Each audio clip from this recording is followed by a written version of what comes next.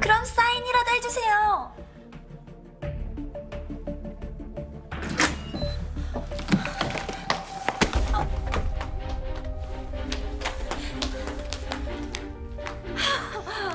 여보, 여보!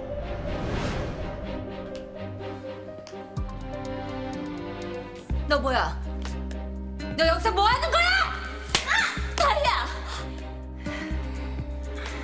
무슨 짓이야? 당신 여기서 뭐 하는 거야? 이혜인이 일단 보내고 얘기하자. 어? 가봐. 안 돼. 너 못 가. 언니, 얘 보내면 안 돼. 어떻게 된 거야, 혜인 씨? 본부장님이 불러서 왔습니다. 할 얘기가 있으시다고. 뭐? 정말이야? 네, 내가 다 얘기할게. 어? 일단 이혜인이 보내자. 어? 당사자 없이 무슨 말을 해? 다 보내놓고 오빠가 다른 말 하면? 진다희! 일단 너부터 가! 언니 혼자 두고 내가 어떻게 가?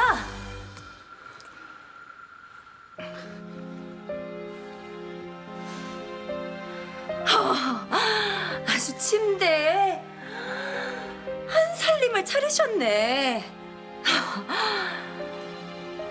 언니는 식당 앞에서부터 내가 이상하다 그랬지? 아주 작정을 하고 꼬신 거야.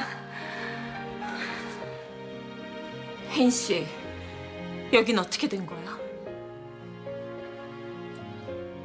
본부장님께 직접 물어보세요. 너 언제부터 여기 들락거렸니? 본부장님이 이게 말끝마다 본부장 타령이야. 본부장이 네 친구야, 아빠야. 그만 둬! 죽어도 쥐꼬리 쳤단 소리는 안 하네. 혜인 씨 여기서 나가줘.